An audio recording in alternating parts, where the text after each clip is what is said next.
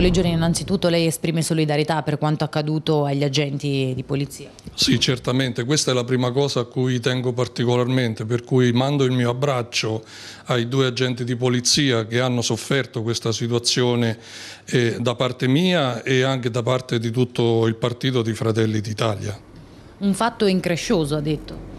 Eh beh sì, siamo arrivati al punto che due servitori dello Stato, due agenti di polizia, per chiedere dei documenti a dei facinorosi delinquenti ubriaconi, si arriva ad essere spintonati, ad essere aggrediti fino alla violenza fisica, è veramente una cosa inaccettabile, soprattutto poi anche a Fano che, che è stata sempre una città abbastanza tranquilla e ormai da tempo si stanno verificando episodi che fanno molto riflettere. Che cosa si potrebbe fare secondo lei per migliorare la situazione e soprattutto la sicurezza?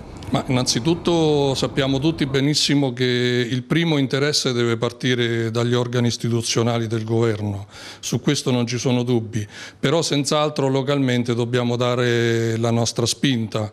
Io continuo a dire, a lanciare il mio messaggio anche al prefetto perché si faccia veramente una voce forte a Roma e magari se fosse supportato anche dai sindaci, tutti i sindaci della provincia, sicuramente ci sarebbe una valenza più importante. E abbiamo più volte noi detto, ripetuto e lanciato e denunciato che le forze dell'ordine soffrono eh, una situazione di organico abbastanza importante. Fano siamo ridotti alla metà